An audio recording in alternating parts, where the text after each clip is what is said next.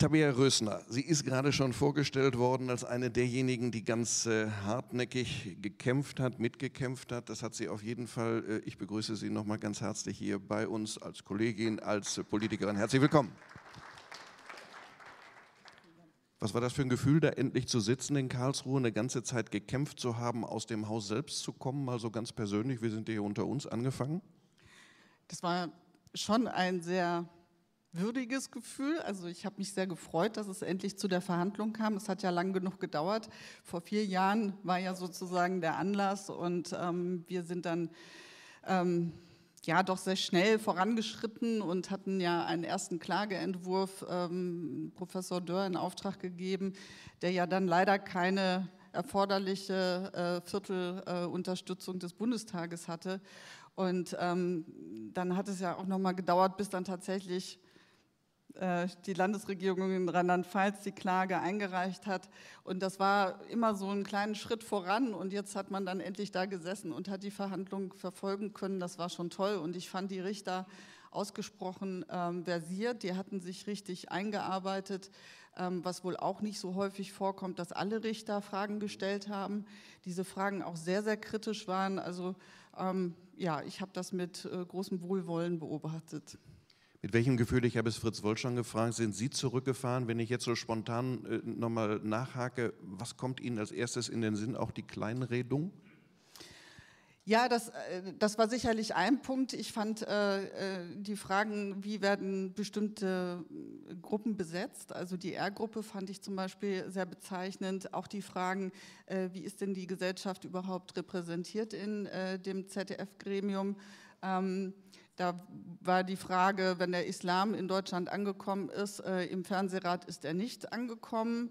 Die Frage von, was ist mit Frauen, mit jungen Menschen, mit Migranten. Ähm, das waren doch wichtige Fragen, was die Zusammensetzung angeht. Was ich aber ganz bezeichnend fand, dass sich das Gericht sehr lange damit befasst hat, wie funktioniert dieses Gremium eigentlich oder diese Gremienarbeit und was hat das mit den Freundeskreisen auf sich. Ähm, das fand ich schon sehr spannend. Ich bin ja selber nicht Mitglied in einem Rundfunkrat. Ähm, und äh, das nochmal. Aus Prinzip? Ähm, ich bin Wenn Sie morgen gefragt würden, wie wäre Ihre Antwort? Danke. Ich finde das nicht einfach zu beantworten. Das würde sehr, ähm, äh, also ich würde mich fragen, äh, welches Gremium ist das? Wie weit entfernt bin ich davon? Was kann ich dazu beitragen? Ähm, ich, vertrete auch nicht die Position, dass alle Politiker rausgehen müssten. Also Herr Gersdorf hatte schon gehofft, dass ich ihn da äh, unterstütze, aber wir haben nie gesagt, dass es ein politikfernes Gremium ist, sondern dass es ein staatsfernes äh, Gremium sein soll. Und für mich ist es vor allen Dingen wichtig, dass die Regierungsvertreter dort eben auch ähm, reduziert werden oder vielleicht sogar ganz rausgehen. In anderen ähm, ARD-Anstalten beispielsweise ist das ja der Fall. Und ich fand ähm, so einige Argumentationen auch etwas absurd. Da wurde dann ähm, betont, ja, durch die Regierungsvertreter würde die Expertise in diese Gremien reinkommen. Das ähm, fand ich dann doch so ein bisschen zweifelhaft und die Richter fragten dann auch nach, heißt das, in den Gremien der ARD beispielsweise, wo keine Regierungsvertreter sind, gibt es dann da keine Expertise? Darauf konnte dann auch nicht richtig geantwortet werden. Und ähm, bezeichnend fand ich nochmal die äh, Diskussion um die R-Gruppe, also das sind die, die von den Ministerpräsidenten benannten, ähm, 16 Mitglieder, die sich aus den Bereichen Wissenschaft, Kultur, Bildung und Erziehung ähm, zusammensetzen. Und da war dann das Beispiel Herr Zastrow als Fraktionsvorsitzender des Sächsischen Landtags, für welche Gruppe er denn steht. Und ähm, dann hieß es, ja, man hat sich das unter den Ländern mal so aufgeteilt, äh, welchen Bereich das jeweilige Land besetzt und äh, benennt. Ähm, Herr Zastrow würde für die Kreativwirtschaft stehen und dass er zufällig ein politisches Amt nebenbei ausführen würde, das sei halt so. Und äh, das fand ich schon sehr lustig, ähm, dass das äh, politische Amt, äh, zudem eines Fraktionsvorsitzenden und eines Bundesstellvertretenden Bundesvorsitzenden dann so abgetan wird, ähm, hat mich dann doch sehr erstaunt. Jetzt gucken wir nach vorne. Wir haben das Zitat von Ihnen schon gehört. Äh, Jupp Legrand hat es genannt. Also Sie wollen keinen Schwarzfunk, keinen Rotfunk, aber auch keinen Grünfunk oder was auch immer. Was wollen Sie und wie kann man das abbilden? Diese Pluralität, die Sie ja offensichtlich anstreben. Unterstellen wir mal, dass alle Grüne so sind wie Sie.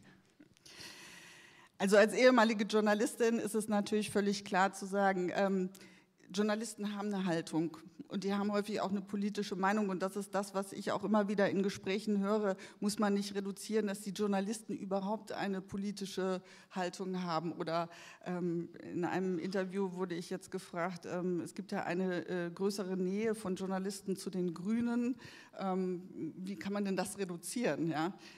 Im Nachgang der Bundestagswahl kann ich nur sagen, es hat uns ja nichts genützt. Ähm, häufig sind ja gerade auch äh, Journalisten, die eine, eine Präferenz haben, besonders kritisch denen gegenüber, zu denen sie ähm, eher eine Nähe haben. Ähm, wichtig ist, dass diese Unabhängigkeit gewährleistet wird, natürlich auch durch die Führungsebene, durch die, ähm, durch die Vertreter, ähm, also die Chefredakteure, beispielsweise Programmdirektoren, die müssen darauf achten, äh, Redaktionsleiter natürlich auch, dass es eine Ausgewogenheit gibt, aber eben auch die Frage von, wie begleiten wir das in den Gremien. Und ähm, dazu zählt einmal die Frage, wie ist die Gremienzusammensetzung, haben Regierungsvertreter dort was zu suchen oder nicht. Das wird das Bundesverfassungsgericht sicher feststellen. Ich gehe nicht so weit, dass ich glaube, dass das Bundesverfassungsgericht sagt, alle Regierungsvertreter raus. Ähm, aber möglicherweise gibt es eine Quote, dass es eben keine Beherrschung gibt. Ähm, die Stellungnahmen oder Klagen haben ja auch ähm, festgestellt, dass es in der äh, Kulmination gerade beim ZDF besonders großen Einfluss gibt äh, durch die Regierungsvertreter, nämlich indem direkt von, der, von dem Ministerpräsidenten benannte Personen drin sind. Also wir müssen auch gucken, was sind die äh, gesellschaftlich relevanten Gruppen. Ich glaube. Aber, aber wir müssen gucken, wer definiert das dann? Ja, das ist eine gute Frage. Uns schwebt vor, dass es vielleicht eine unabhängige Kommission gibt, die Kriterien aufstellt, ähm, nach denen äh, die gesellschaftlichen Gruppen auch ausgewählt werden äh, und benannt werden. Möglicherweise muss das auch dynamisch sein, denn wenn vor 30, 40 Jahren vielleicht der Verband der Vertriebenen einen großen Stellenwert in der deutschen Gesellschaft hatte. So mache ich da heute meine Fragezeichen, ob das heute noch so ist oder ob es nicht andere Gruppen gibt, die eben eine größere Relevanz haben für unsere Gesellschaft. Ähm, und das kann man natürlich anhand von Kriterien feststellen und ähm, das wäre unserer Auffassung nach der beste Weg. Da gleich Kurt Beck kommt, äh, sind Sie mit der Klage zufrieden? Die Klage, die Professor Hein gestellt hat, äh, geschrieben hat.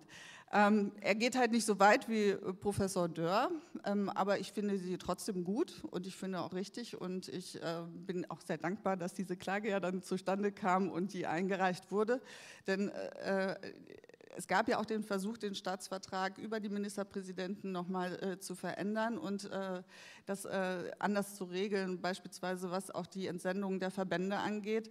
Denn im Moment ist es ja so, dass die Verbände, die dort benannt sind, drei Vorschläge machen ähm, und immer ähm, die Ministerpräsidenten auswählen können. Jetzt wurde gesagt, naja, der Erste auf der Liste, der wird dann auch meistens gewählt äh, oder benannt. Ähm, aber das hat es aus äh, der eigenen Kraft der Ministerpräsidenten eben nicht gegeben. Ähm, Nochmal ganz kurz, ähm, das wurde eben auch schon angesprochen, ich glaube, wir werden nicht alles lösen damit, dass die Gremien neu besetzt werden oder anders besetzt werden. Ich glaube, wichtig ist eben, dass man äh, im Anbetracht der Tatsache, dass der öffentlich-rechtliche eben auch unter einem Legitimationsdruck steht, ähm, die Öffentlichkeit äh, stärker mit einbeziehen. Also wir brauchen da mehr Transparenz. Und wenn ich ähm, mal so höre, dass es unterschiedliches Engagement auch der Gremienvertreter gibt, äh, dann frage ich mich schon, wer nimmt denn seine Aufgabe da auch wirklich ernst? Und äh, bin ich bereit, zum Beispiel mich weiterzubilden? Herr Wolf hat es eben angesprochen, äh, mich äh, fit zu machen, denn wir wollen ja jetzt nicht nur Medienexperten da drin haben. Herr Gersfeld sieht das vielleicht anders. Ähm, aber es soll ja, äh, sollen die Sachwalter der Allgemeinheit sein. Das heißt, sie sollen ja auch nicht nur ihre Verbandsinteressen dort vertre äh, vertreten oder sie sollen gar nicht eigentlich ihre Verbandsinteressen, sondern sie sollen die Interessen der Gesellschaft ähm, dort äh, vertreten. Und da ist es wichtig, sich dann eben auch in medienpolitischen Fragen fit zu machen, denn das ist in der Tat eine große Herausforderung im Hinblick auf die Entwicklung im Internet äh, und der Zukunftsfähigkeit des öffentlich-rechtlichen Rundfunks. Frau Rösner, herzlichen Dank. Sie nehmen Platz hier in unserer Runde. Dankeschön.